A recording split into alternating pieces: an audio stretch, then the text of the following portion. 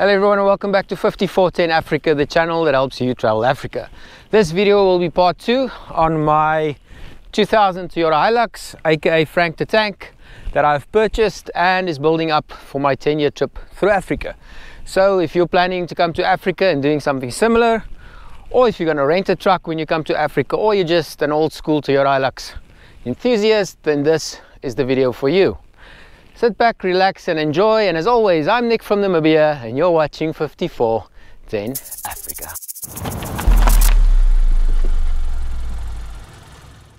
A few points before we get started, or a few things I need to say before we get started is one, I'm going to try and keep this video short as possible. I know no one has 20 or 30 minutes to watch on a video. Two is this is not an overlanding channel, nor am I an overlanding expert if you need that there's some great channels out there that you can go to. I'll put links in the description below.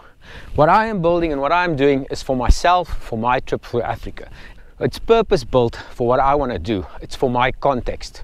So if you disagree about something or you've done something different that is fine because that is based on your needs. Three is i'm going to mention a lot of product names. Nothing on this car was given to me or is being borrowed to me. Everything on this car I've paid for with my own money. I've worked very hard for that money and I've spent it. I've based it on research and testing and the things that I've liked, I've kept and I'm now showing to you. Okay, the front. I can tell you now that the last, the previous video was about 60, 60% done. I'm now about 80 to 85% done. The front, you won't see much difference. I still have the Boss bumper bumper that I got from, uh, replacement bumper that I got from Johannesburg. Um, the winch will be one of the last things that I add. I'm gonna, I've decided on a 9,000, 9,500 pound synthetic rope winch, synthetic rope just because it's gonna be lighter. And once I fitted the winch, I'll do the suspension. I have already decided that I will be going Old Man Emu, but that will be right at the end. The winch will be the last weight and based on that we'll do suspension unless and i just said i'm not being influenced unless somebody wants to give me a suspension then we can talk. But no old man emu for now. And at the same time these lights came with the vehicle if you remember them from the first video. At the same time i will be adding the lights. I want to see how big the winch is and how it sits before I decide on lights. And I'm probably gonna go small square ones. I, I sort of already know what I want. It's between uh, Light Force and Hella. They've got the small square ones and that is because they don't want to restrict air going into my radiator. This is an old engine, it's an old car. The last thing you want to do is um, deprive it of air inflow that it needs to cool the engine. The rest of the front, what I have on order is my rock sliders, I'll get to that, and my two recovery points. I have replaced my lenses just with normal cheap lenses. The old ones were just faded and bulbs as well just newer brighter those bluish bulbs that made it's made a huge difference. Finally lights the light bar on top i'm thinking about it. At this point i'm still deciding on whether i want to add the light bar because of these lights. That's these leds that are fitted in the bumper. They i have driven in at night once. I avoid driving at night as much as possible. But what these lights do is they light up. I'm going to show you. They light up the area here in front of the car this area very well. And that means that you can see all those ditches and potholes etc and that is the main purpose in my opinion of the light bar on top is to give you light straight in front of yourself and then a bit of coverage on the sides these lights do a very good job and i might end up not putting on the led the led light bar I will see, see how it goes. The, the, issue of adding more lights is it's more money, uh, it's more things that can go wrong. That's, that's why I'm considering not do it. Okay, next up, let's do the engine. See if I can do this one hand. I can. yeah, that's it. Engine. This is a 2000 2.7 petrol Toyota Hilux double cab dual cab 4x4 engine is stock standard. Well you see is it just went in for a service recently and they just messed oil over my car it's sad. But anyway stock standard i'm not going to change anything. They call these engines bulletproof. 263,000 k's and no problem so far.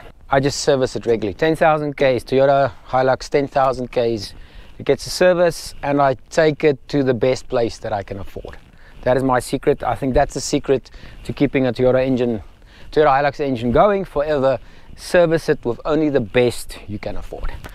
And only other things that you'll see is the snorkel that's fitted on the side. And then I've got one, two, there's the other one. I don't know if you can see it back there. Is the diff breathers, which I've added recently. I did open up the rear diff and of course water contamination. So that's just that's just a precaution for when you need to go into the water. Same same for the snorkel. Not that I'm planning. I'm not I'm not risky. I'm travel by myself, one car, one person. So I don't take those risks. I avoid water. I currently work at sea. I know the I know the things that happen underwater. You don't want to be going with your car into water unless you're sure, and you can never be sure. So yeah, I'm avoiding not taking those risks, but there will be those cases where I need to go into water. So I've got the protection, my diffs are protected, and I've got the snorkel. And that's it, let's move on. Not much has changed uh, on the side. I still have the, ah, let me not lie to you, 31 by 10 and a half R15 General Grabber uh, X3s, Mud-Terrains. I love these tires. I've now driven them long enough to tell you, to confidently tell you that I trust these tires. I've taken them to the northwest of Namibia, one of these, one of the toughest terrains for tires, tire killing area, tire killing area. Survived, no problems. I've had zero issues. I love these tires, and it's one thing, one place, one area that you should never, ever go cheap on. Is tires. Because you don't have tires, you can't go anyway. Then the rims, you can see is black steel rims. Those are original Toyota rims. All I did is I took them off, had them refurbished and resprayed just to check that there's no frailties in the in the steel and 100% happy. Obviously, some people will say you should be going aluminium. That's that's the thing. It's it's a personal choice. I personally, for the bush, I prefer steel. I think uh, steel gives you a lot more leeway. You are you're able to fix steel in the bush. But I don't want to get into an argument. Ronny Dahl, I'll put the link in the description, It's got an excellent video, steel versus aluminium rims. And just go and watch that, I'll tell you. And then I've got the hubcaps. No greater feeling in the world than switching then switching the hubcaps on and off, getting out the car, on, you know, you're in 4x4. I love that feeling. I love that feeling. Just remember if you do have a car with hubcaps, hubcaps. Is this called hubcaps? No, with hubs. If you have a car with hubs, you need to at least once a month, according to my user, user manual. I've actually read the user manual. what a geek. Once a month, you have to drive at least 13 kilometers in 4x4 to keep the system lubricated. This is what I'm doing now. I'm at Grabouw 4x4 track, going into 4 by, uh, going to low range, going to high range, diff lock on, diff lock off, just to get the system uh, lubricated. Just remember that if you have this type of vehicle. Don't park it for three months at home and then one day want to go 4x4ing because they do get stuck and you'll be stuck. Running boards, still have the same running boards. Just get that into the shot. Still the same running boards. I have ordered the Onca double tube. I'll put a picture in double tube uh, rock sliders. So those should be coming in the next two or three weeks.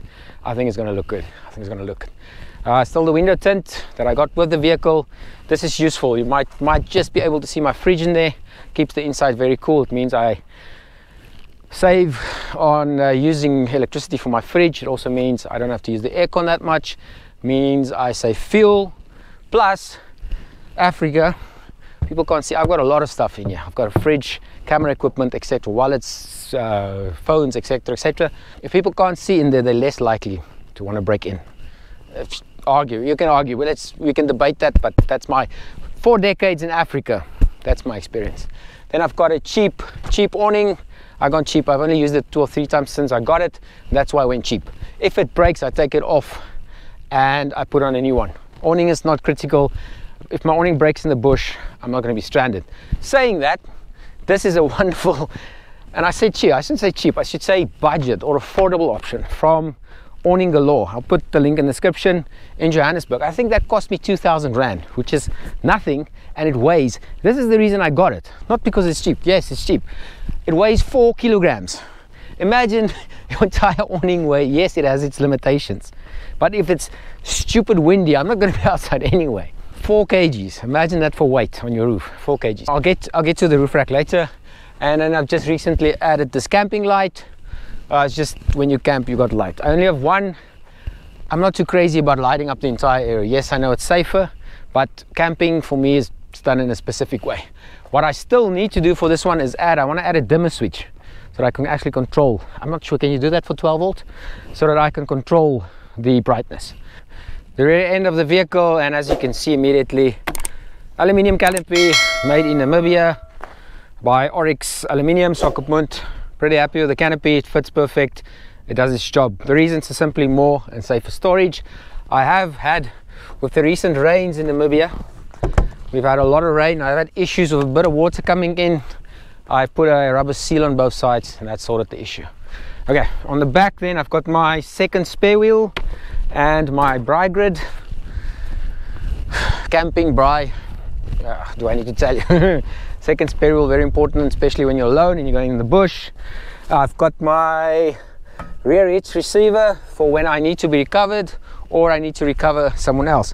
Remember when it comes to recovery the equipment and the capabilities you have is not only for yourself to be recovered it's also to help others or to be able to recover others. That's very important and crucial to remember when you buy recovery equipment. So let's open this up. This is quite easy to do and look at that rust. This is the only rim I haven't done yet. Shame on me. Let's open up the canopy in the back. Back. And I think just to get a bit more light open up the sides. Very easy to open. Hey hey. Customers open this side. That's the canopy. Okay let's carry on with the back. Just remove that camera what you'll see here is my ground tent. Tent go tent ah, I'll just stack everything here. So no I don't have a rooftop tent. The argument is it's safer. I don't believe it's safer. Argument is it's easier to put up and down. If I camp two three four nights this is easy. I put it up and I can drive and come as I go. I've seen people with rooftop tents. You have to put it down go out for the day come back put it up. So yeah. Cheaper yes no weight rooftop tents now weigh up to 60 70 80 kgs. That thing weighs 13 kilograms I think. And it goes in low. It goes in low. I don't want to debate it. It's a personal choice like I said at the beginning. There's a lot of videos. Ronny Dahl Andrew St Pierre White will talk about rooftops versus ground tents. It's a personal preference. Going with that is my roll-up mattress. That's for comfort. The man needs to sleep comfortable at your at my age uh, my Maxtrax which used to go on top of the roof.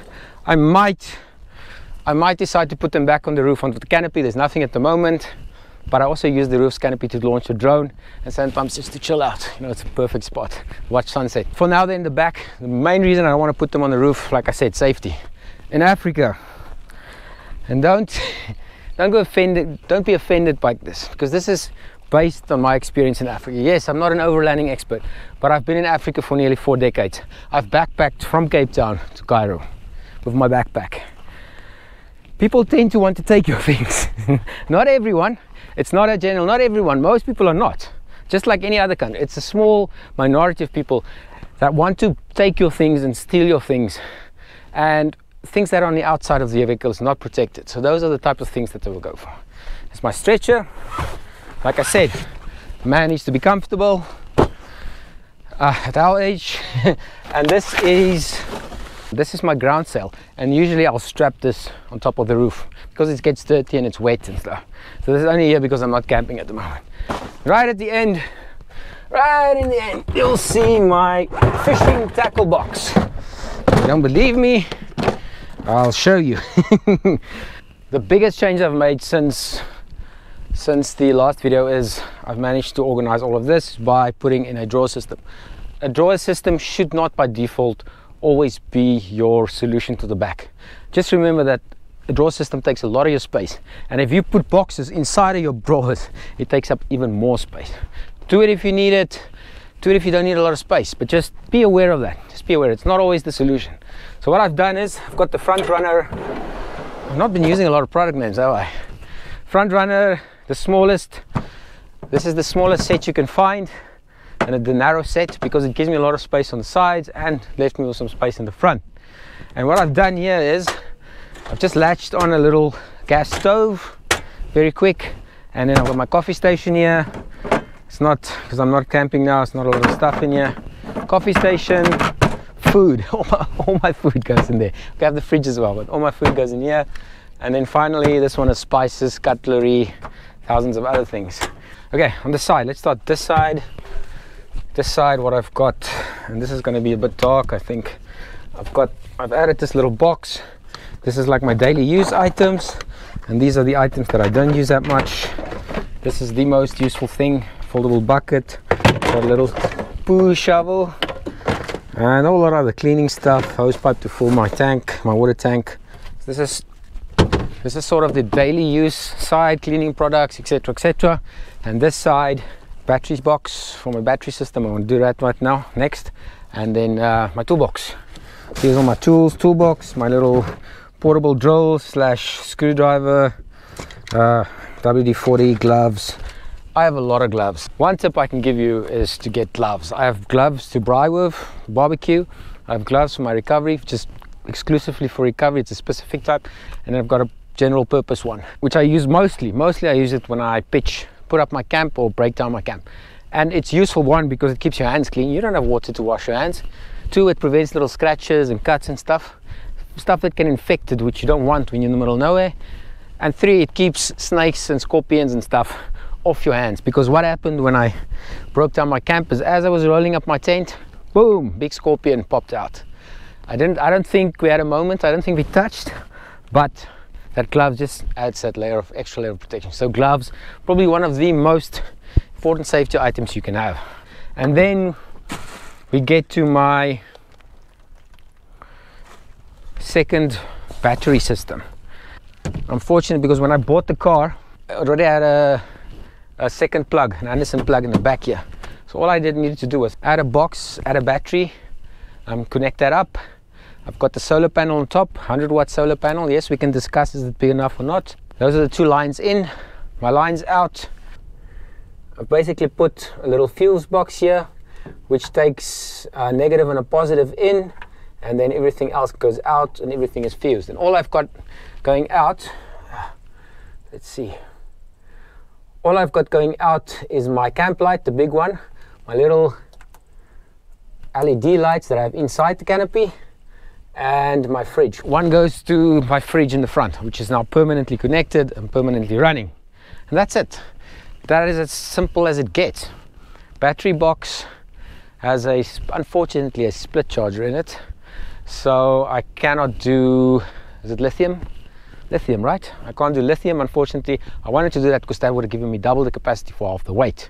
So if I now need to, if I want to, if I want to increase my amp hours I'm gonna have to buy another battery which means double the weight what I've missed is my table and chair you're probably thinking where's your table and chair well this is this was done for me by Alutech in um, Windhoek yeah that's my that's my table and my chair is right in there I've got the little front runner foldable chair I love the chair it's a bit heavy but look look because it's so small I can just fit it in right there. Let's let's see if I'll be able to put this back. This will be the ultimate test. If I can put it back with one hand. Ah, ah. Okay, okay, okay. Ah. There you go, back. and then finally, finally, here you can see my wiring going through.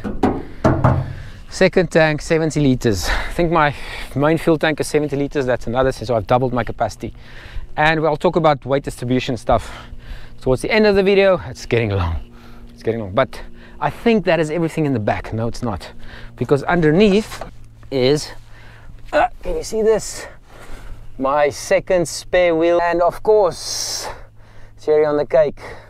The thing the thing that has helped me out twice today my rear diff lock which I engage from the cab. And that's that's about it. We haven't we haven't done the roof yet. Okay. So the roof. Don't ever don't don't even climb in your vehicle like this unless it's Toyota.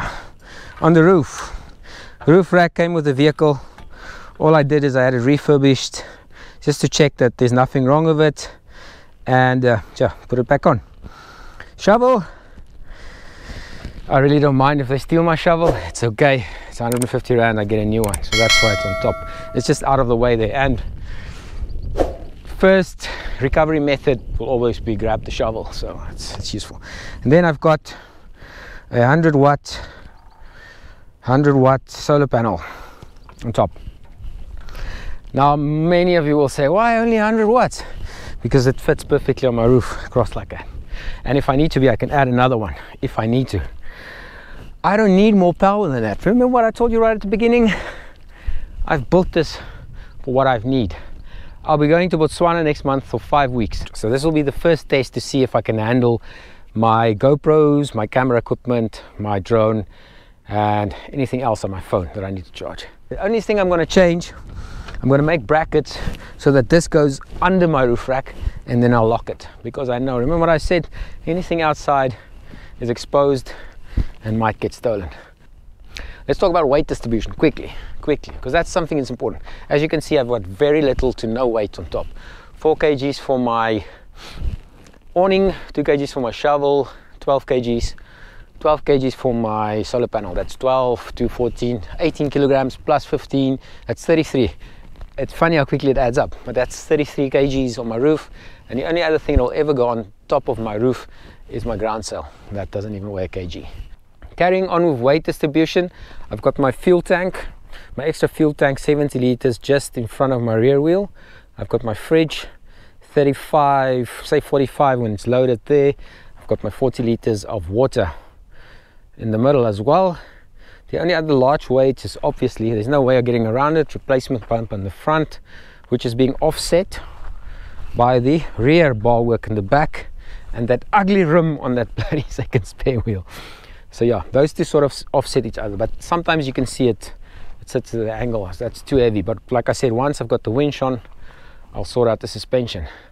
And that's the best that I could build up this to Toyota Hilux. To my abilities and in my budget because it's easy you just go, you can just go and park it and just add whatever you want if you've got an unlimited budget most of us don't and that gets me to the reason why I bought a 2000 Toyota Hilux because people will be going crazy. You've got a car that's 21 years old, 263,000 kilometers on the clock, and you want to add another 10 years to its life. Meaning, when I finish this trip, this car will be 31 years old. 31, 31 years old, and probably have close to seven to 800,000 kilometers on the clock. Toyota, better send me a thank you card when this trip is done. You better send me a thank you card because I will finish with Toyota and I will finish with that engine. I will. The reason is it's it was cheap, it was affordable. Not cheap, affordable. Because it wasn't cheap, it was affordable. It was in my budget. And it met I made a list of criteria that I need for my context for what I want to do. The one was it's affordable. Two, do you know how many of these Hiluxes is in Africa? All over Africa, north, south, east, west. There's two cars that you will find anyway. Toyota Hilux and Toyota Land Cruiser. Everywhere in Africa. More important is because of that reason, you will find the spares, spares, and you'll find the people that fix them, mechanics. And that's what you need on a trip like that. When I break down, I need to be able to call people that come and fix. And the nice thing about the older models is you can fix them with pliers and wire. Not really, but you get what I say. You don't need a fancy technician with a laptop and software. Wire and pliers. Toyota's gonna kill me for saying that. But yeah, that's that's reality. Those are the three biggest reasons: affordability and the fact that I will be able to fix it. And sorry, not three. The third one is reliability. You see that badge on the front of the car? Did I see that? I've taken off the name, the Hilux name on the side of that car. That in Africa means reliability. There's a reason you find them all over Africa. There's a reason when I travel to the north of Namibia, you see these cars everywhere 10 years older, 10 years younger, up to the 2021 model. Because Africa, uh, if you didn't know better, you would think that this Toyota Hilux is made in Africa. That's how many you find here. And I'm not exaggerating. Ask any person. And the, again, the only other vehicle is the Land Cruiser. The reason I did not get the Land Cruiser is it's more expensive. It's more expensive to maintain and fix and it's heavy on fuel. This one is currently I'm getting about seven to seven and a half kilometers per liter. Land Cruiser is very close to half that, meaning my my fuel bill will be double double for this one if I ended up taking or using the Land Cruiser. And that's it. Thank you for watching. Please, please, if you are if you've done this or you are doing it, if you're one of those experienced overlanders and you see something wrong that I've something wrong with my setup here, what I've done, please contact me. Please go in the comments. I will not be offended. I, I am still learning and I need to learn. I need to learn fast because I'm taking this car through Africa. Please in the comments or if you just like the vehicle, just comment below. Say, Nick, that is a, that is a good looking Toyota. Or tell me if you're building one as well. Let's, let's share the experience. But I think that's it. I think I can't carry on any longer. And if you're wondering where I am, I am on the Grabouw 4x4 route. Uh, it's about 70, 80 k's outside of Cape Town. Very easy, just Google Grabouw. I'll put, I'll put a link in the description. It's 150 Rand and you do the 4x4 route. Okay, and that's it for this video from a scenic and beautiful Grabouw Mountains in the Western Cape of South Africa. Thank you for watching. As always, I'll put more information in the description. Please, if you haven't subscribed yet, consider doing so. And as always, I'm Nick from Namibia, and you'll be watching 5410 Africa. Say bye, Frank.